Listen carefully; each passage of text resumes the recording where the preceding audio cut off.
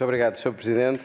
Eu tinha aqui já mais algumas perguntas para o, para o Sr. Professor Pedro Verdelho, mas obriga-me a colocar mais uma no geral, que é uma, uma pergunta de correção histórica para fazer ao Partido Socialista, porque a dívida tarifária foi inventada por, por, por o Sr. Engenheiro José Sócrates, que descobriu essa virtualidade.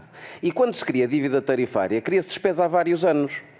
O facto que o Sr. Deputado Ricardo Pinheiro imputa aqui que 2015 tem o máximo da dívida tarifária só quer dizer que houve muita dívida tarifária criada no governo anterior.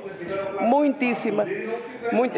Reduzimos, reduzimos de forma a que pode observar que a partir de 2016 para a frente ela começa a reduzir. Mais. Foi nesse governo até que se instalaram as primeiras centrais renováveis sem fidines sem essas eh, despesas extra que depois contribuem para termos este, esta montanha de dívida. E, portanto, enfim, eu não vou pedir ao Sr. Professor para, para, explicar, não lhe vou eh, cometer essa descortesia de pedir para explicar a história ao, ao, Partido Socialista, porque há mais coisas e mais importantes que eu queria esclarecer com, consigo. Porque o que é que nos confirma aqui? Voltando ao tema que é importante. É que houve um problema de previsão, e há um problema de previsão. É que, no fundo, diz-nos que confirma o facto, aliás, nós tivemos descidas tarifárias, tivemos tarifas de acesso negativas, aqui pelos, pelos gráficos que nos trouxe, em 2022 já havia guerra. Tivemos tarifas de acesso à rede negativas.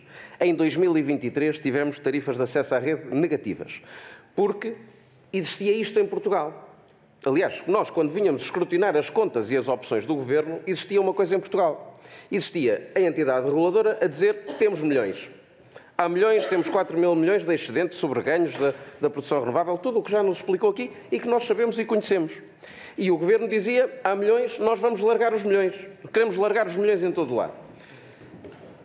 E acontece depois que o que se confirma é que afinal não havia os milhões. Afinal havia milhões porque se ia pagar à frente, porque se iam subir preços à frente e porque se ia criar mais dívida à frente ou subir a dívida. Enfim, se for tudo na tarifa ou meio na dívida, meio na tarifa, como já nos explicou, o que interessa relevar aqui é que houve um erro de previsão.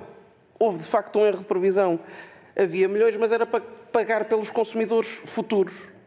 Ou seja, distribuíram o que não tinham.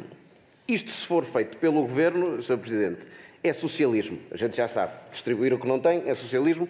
Pelo Governo socialista já não nos admira. Fazer isto pelo regulador preocupa-nos, porque há um erro de previsão que não é um, um, pequeno erro, nem é uma, uma coisa leve. É um erro de, de uma previsão de 2 mil milhões de euros, pelo, pelo, pelas assim, de contas grossas que eu vejo aqui.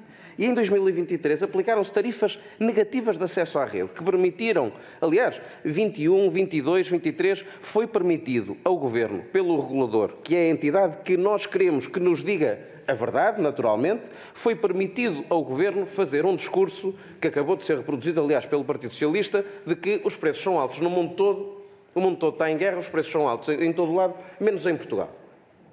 E isso fez-se à custa dos consumidores futuros e dos governos futuros que, à custa de um desequilíbrio aqui criado, vão ter que continuar, todos os governos, a transferir para o, para o sistema elétrico as quantias necessárias para manter preços.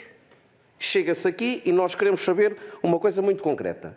Qual é a responsabilidade deste erro de previsão?